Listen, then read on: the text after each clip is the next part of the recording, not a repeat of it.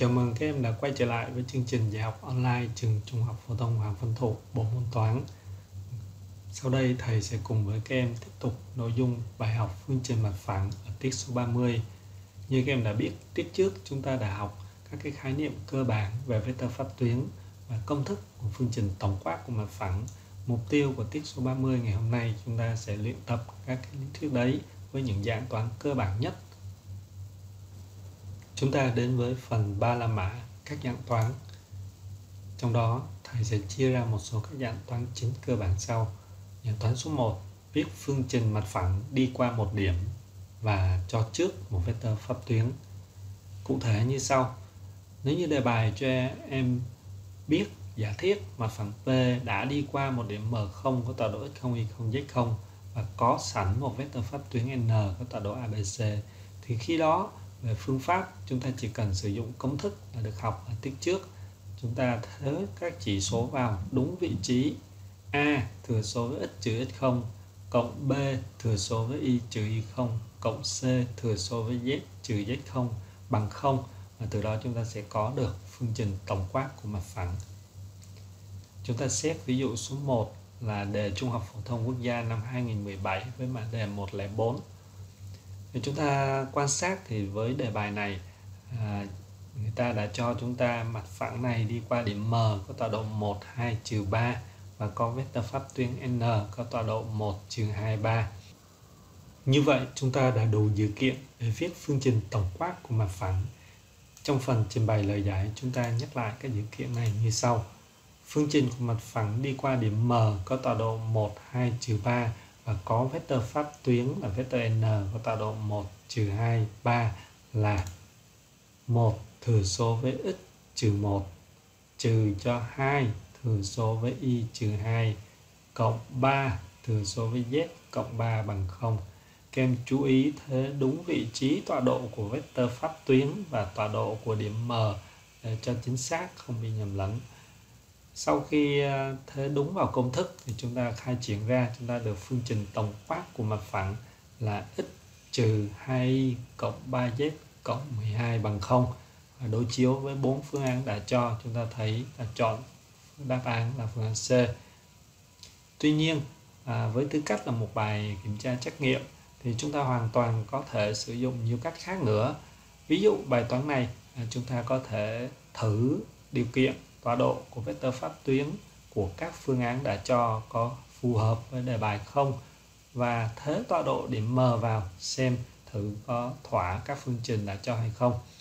Thầy lấy ví dụ với giả thiết vector pháp tuyến có tọa độ 1 trừ 2 3 các em quan sát, ta thấy loại ngay phương án B và phương án D. Bởi vì ở phương án B và phương án D thì tọa độ vector pháp tuyến là 1 trừ 2 trừ 3 còn hai đề cử là phương án A và phương án C đều có tọa độ vector pháp tuyến là 1 trừ 2 3 thì lúc này chỉ cần em thay tọa độ điểm M vào một trong hai phương trình. Và nếu như ta thay tọa độ vào tọa độ điểm M vào phương án A, chúng ta thấy không thỏa. Như vậy chúng ta chọn phương án C. Hoặc nếu các em thay vào phương án C thỏa thì chúng ta đã có được đáp án. Tiếp theo, ta cùng đến với ví dụ số 2. Ví dụ số 2 trích từ đề thi Trung học phổ thông quốc gia năm 2017, mã đề 110. Đồng thời, đây cũng chính là bài 3A trang 80 sách giáo khoa. Thầy lưu ý các em trong công văn vừa rồi của Bộ có yêu cầu một số các bài tập cần làm, trong đó có bài 3A trang 80 sách giáo khoa.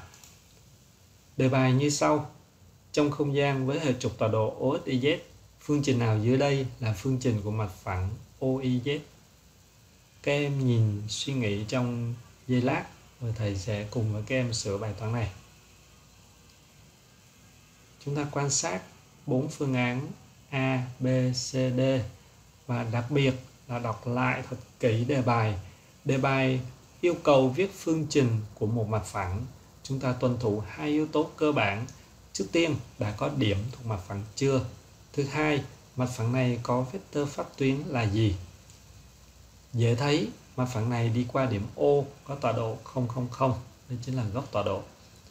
Còn vector pháp tuyến, thầy mời các em xem lại hình vẽ để nhớ lại đặc tính hình. ở đây mặt phẳng OIZ thì sẽ vuông góc với lại là trục hoành cũng đồng thời nhận vector y là vector đơn vị của trục hoành là vector pháp tuyến. Chính vì vậy chúng ta đã đủ dữ kiện để viết phương trình mặt phẳng OIZ chúng ta trình bày lời giải như sau. Mặt phẳng OIZ đi qua góc tọa độ O và có vector pháp tuyến y, có tọa độ 1 0 0 từ đó, sử dụng công thức ở trên, chúng ta có ngay phương trình của mặt phẳng OIZ là 1 thừa số với x trừ 0 cộng 0 thừa số với y trừ 0 cộng 0 thừa số với z trừ 0 bằng 0 hay phương trình là x bằng 0 qua đây chúng ta nhận ra rằng đối với những mặt phẳng tọa độ đặc biệt như OIZ, OXZ và OXY thì sẽ có những cái dấu hiệu để chúng ta thuộc cái phương trình được nhanh hơn không cần phải giải chi tiết như thế này. À, chúng ta quan sát kết quả bài toán rõ ràng ở đây yêu cầu ban đầu là viết phương trình mặt phẳng OIZ khuyết hệ số x thì khi đó phương trình của mặt phẳng nó là x bằng 0 và chúng ta hoàn toàn có thể vận dụng tương tự. Nếu đề bài hỏi viết phương trình của mặt phẳng OXY thì các em đoán xem phương trình là gì nào. À, phương trình đó là z bằng 0 và nếu đề bài hỏi phương trình đó là phương trình của mặt phẳng OXZ thì chúng ta có phương trình là y bằng 0 thì đấy là dấu hiệu để chúng ta có thể trả lời nhanh phương trình của các mặt phẳng tọa độ. Tiếp theo, thầy cùng với các em bước qua dạng toán số 2 viết phương trình mặt phẳng đi qua một điểm và vuông góc với một đường thẳng. Cụ thể, nếu đề bài đã cho trước mặt phẳng P đi qua điểm M0 có tọa độ x0 y0 z0 và vuông góc với đường thẳng đi qua hai điểm mà tọa độ hai điểm AB đã cho trước. Chúng ta quan sát hình vẽ. Theo như dạng toán, chúng ta đã có được yếu tố thứ nhất đó là điểm M0 thuộc mặt phẳng P.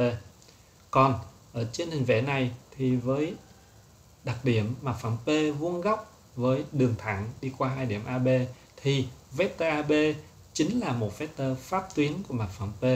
Từ đó chúng ta rút ra phương pháp làm Thứ nhất, chúng ta đã xác định được mặt phẳng P đi qua điểm M0. Thứ hai, do mặt phẳng P vuông góc với đường thẳng AB nên mặt phẳng P sẽ có vector pháp tuyến ký hiệu là NP, vector NP bằng vector AB. Chúng ta xét ví dụ số 3. Ví dụ số 3 trích từ đề Trung học phổ thông quốc gia năm 2018 mã đề 103 như sau. Đề bài đã cho sẵn tọa độ 3 điểm ABC, yêu cầu viết phương trình mặt phẳng đi qua điểm A và vuông góc với đường thẳng BC. Chúng ta thấy rõ ràng đề bài này đã có điểm A thuộc mặt phẳng cần tìm. Đồng thời đã cho hai tọa độ BC với dữ kiện mặt phẳng cần tìm vuông góc với đường thẳng BC. Như vậy ứng với dạng toán số 2. Vì vậy chúng ta áp dụng trong lời giải như sau. Trước tiên ta tính vector BC. Vector BC thì có tọa độ là trừ 1, trừ 2, 2 là một vector pháp tuyến của mặt phẳng P cần tìm. Từ đó ta sẽ khéo léo chọn vector N cùng phương với vector BC. Ở đây cụ thể thầy chọn là vector đối của vector BC là tọa độ 1, 2, trừ 2 cũng là một vector pháp tuyến của mặt phẳng P.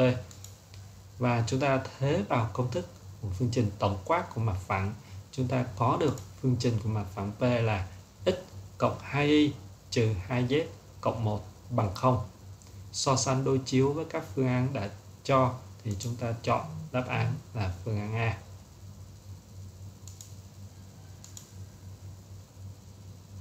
Tiếp theo, mời các em qua ví dụ số 4 trích từ đề Trung học phổ thông quốc gia năm 2017 mã đề 110. Ở đề bài này, người ta cho chúng ta tọa độ hai điểm A và B và yêu cầu viết phương trình mặt phẳng trung trực của đoạn thẳng AB. Nếu so sánh với dạng toán chúng ta vừa nêu, rõ ràng chúng ta đang có một cái giả thiết quan trọng đó là mặt phẳng vuông góc với một cái đoạn thẳng. Nhưng ở đây mặt phẳng này là mặt phẳng trung trực. Vì vậy thầy nhắc lại chúng ta về mặt phẳng trung trực. Mặt phẳng P là mặt phẳng trung trực của đoạn thẳng AB, có nghĩa là mặt phẳng P sẽ vuông góc tại trung điểm của mặt phẳng của đoạn thẳng AB. Chính vì vậy, chúng ta sẽ gọi Y là trung điểm của đoạn thẳng AB và rõ ràng Y cũng sẽ thuộc mặt phẳng P, nó chính là một điểm thuộc mặt phẳng mà chúng ta cũng đang mong muốn. Để tính tọa độ Y thì chúng ta đã có công thức rồi. Chúng ta lấy XA cộng XB chia 2 ra hoành độ điểm Y. IA cộng IB chia 2 là tung độ điểm Y và ZA cộng ZB chia 2 là cao độ của điểm Y và chúng ta tính được điểm Y có tọa độ là 1, 1, 2 và lúc này với giả thiết alpha là mặt phẳng trung trực của đoạn thẳng AB thì chúng ta có được vector AB chính là một vector pháp tuyến của mặt phẳng alpha. Và ta tính ra vector AB sẽ có tọa độ là trừ 6, 2, 2 chúng ta đã đủ hai yếu tố để viết phương trình tổng quát của mặt phẳng. Từ đó chúng ta thế vào công thức và ta tính được phương trình tổng quát của mặt phẳng là 3x trừ y trừ z bằng 0 à, đối chiếu với bốn phương án đã cho thì chúng ta chọn đáp án là phương án B. Tiếp theo là dạng toán số 3 viết phương trình mặt phẳng đi qua 3 điểm không thẳng hàng. Đây cũng là một trong những dạng cơ bản thường gặp các em cần lưu ý. Cụ thể, nếu đề bài yêu cầu viết phương trình mặt phẳng P đi qua 3 điểm ABC không thẳng hàng thì chúng ta sẽ giải quyết bài toán này như thế nào? Chúng ta quan sát hình vẽ. Đây, hình vẽ này thầy minh họa trường hợp mặt phẳng P đi qua 3 điểm ABC không thẳng hàng. Quay lại với hai yếu tố cơ bản cần tìm. Thứ nhất là điểm thuộc mặt phẳng. Thì ở đây chúng ta thấy chúng ta có dư, có nhiều và ta chỉ cần chọn một trong ba là được Vấn đề tiếp theo, chúng ta tìm vector pháp tuyến của mặt phẳng P. Và theo như phần số 2 tích có hướng ở tiết 29 chúng ta đã học, thì rõ ràng mặt phẳng P này chứa hai vector AB và vector AC thì từ đó chúng ta chỉ cần tính tích có hướng của hai vector này thì nó chính là một vector có tính chất vuông góc với mặt phẳng P và nó chính là một vector pháp tuyến của mặt phẳng P từ đó chúng ta rút ra phương pháp như sau. Ta chọn mà phẩm P đi qua điểm A có tọa độ x0 y 0 z0 và mà phẩm P sẽ có một vector pháp tuyến chính là tích co hướng của hai vector vector AB và vector AC. Sau đây chúng ta sẽ vận dụng ở ví dụ số 5.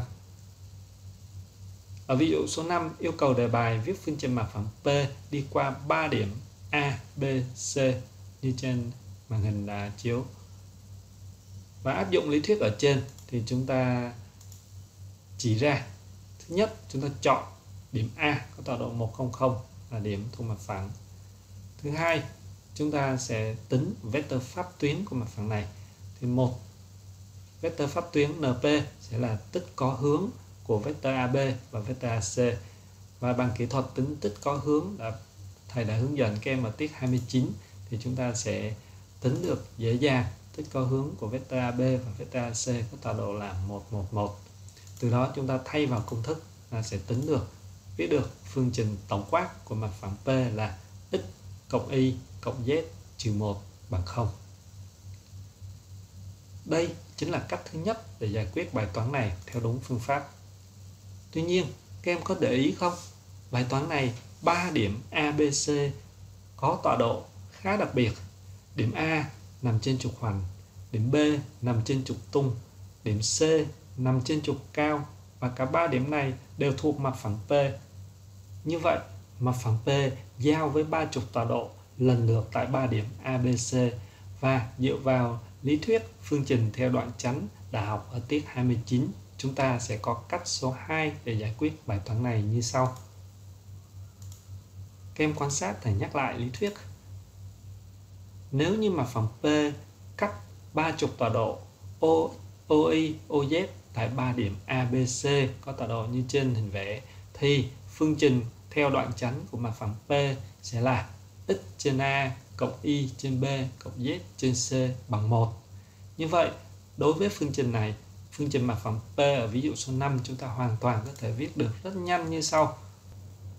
Đó là x trên 1 cộng Y trên 1 cộng z trên 1 bằng 1 và nếu cần chuyển về phương trình tổng quát chúng ta chỉ cần quy đồng lên chúng ta sẽ ra ngay được phương trình x cộng y cộng z trừ 1 bằng 0. Tiếp theo, thầy mời các em đến với dạng toán số 4, viết phương trình mặt phẳng đi qua một điểm và song song với một mặt phẳng. Cụ thể như sau, nếu như đề bài bảo mặt phẳng P đã đi qua điểm M0 có tọa độ x0 y0 z0 và có giả thiết song song với một mặt phẳng Q cho trước thì chúng ta sẽ giải như thế nào? Trước tiên, chúng ta thấy đã có yếu tố mặt phẳng P đi qua một điểm. Tiếp theo, theo tính chất của hai mặt phẳng song song thì chúng ta thấy nếu hai mặt phẳng mà song song thì vector pháp tuyến của mặt phẳng này cũng chính là vector pháp tuyến của mặt phẳng kia. Như vậy, đề bài đã cho mặt phẳng quy rồi thì tức là chúng ta sẽ dễ dàng tìm được vector pháp tuyến NQ và từ đó chúng ta cũng đánh giá nó cũng chính là vector pháp tuyến của mặt phẳng P. Chúng ta sẽ vận dụng phương pháp này để giải ví dụ sau. Ví dụ số 6 trích từ đề Trung học Phổ thông Quốc gia năm 2018 mã đề 101. Đề bài yêu cầu viết phương trình mặt phẳng đi qua điểm A và song song với một mặt phẳng P với tọa độ A và phương trình P đã cho trước. Lúc này, chúng ta áp dụng lý thuyết ở trên, chúng ta chỉ ra, thứ nhất, mặt phẳng Q là mặt phẳng đi qua điểm A ta gọi là mặt phẳng Q và ta đã có giả thiết đi qua điểm A có tọa độ 2 trừ 1 2 và vì đặc tính song song, mặt phẳng Q song song với mặt phẳng P trong đó mặt phẳng P có vectơ phát tuyến có tọa độ 2 trừ 1 3 thì mặt phẳng Q cũng sẽ nhận vectơ N có tọa độ 2 trừ 1 3 đấy là vectơ phát tuyến. Chúng ta đủ hai yếu tố để viết phương trình tổng quát của mặt phẳng và chúng ta thay vào công thức. Từ đó, chúng ta có phương trình tổng quát của mặt phẳng Q cần tìm là 2x trừ y cộng 3z trừ 11 bằng 0 đối chiếu với bốn phương án thì chúng ta chọn đáp án là phương án D ngoài ra bài toán này còn có một điều kiện quan trọng đó là hai mặt phẳng song song chúng ta hoàn toàn có thể giải bài toán này theo một cách khác nhanh hơn khi chúng ta đã được học về lý thuyết vị trí tương đối của hai mặt phẳng. Hẹn gặp lại các em ở tiết 31 khi đó thầy sẽ quay lại sửa lại ví dụ 2, ví dụ 6 này theo cách số 2. Vừa rồi chúng ta đã học xong các dạng toán cơ bản nhất của phần bài tập viết phương trình mặt phẳng. Có rất nhiều dạng toán, tuy nhiên đây là những dạng toán cơ bản nằm trong yêu cầu của bộ. Vì vậy các em cần nắm chắc các dạng toán này thầy nhắc lại những dạng toán cần nắm trong tiết học ngày hôm nay như sau. Dạng toán số 1, các em phải biết viết phương trình mặt phẳng P đi qua điểm một điểm và có trước một vectơ pháp tuyến. Dạng toán số 2, các em viết được phương trình của mặt phẳng P đi qua một điểm và vuông góc với một đường thẳng qua hai điểm AB cho trước. Dạng toán số 3, các em viết được phương trình mặt phẳng P đi qua 3 điểm ABC không thẳng hàng. Và dạng toán số 4 là viết được phương trình mặt phẳng P đi qua một điểm và song song với một mặt phẳng quy cho trước. Trước khi qua tiết tiếp theo học nội dung bài mới, các em hãy ngồi nhẩm lại các dạng toán, phương pháp, xem lại các ví dụ đã sửa để chúng ta nhớ bài tại chỗ. Rồi sau đó các em xem sách giáo khoa điều kiện của hai mặt phẳng song song để tiết 31 chúng ta tiếp thu bài được thuận lợi hơn. Tiết học 30 đến đây là kết thúc. Thầy tạm biệt các em, hẹn gặp lại các em ở tiết 31 tiếp theo.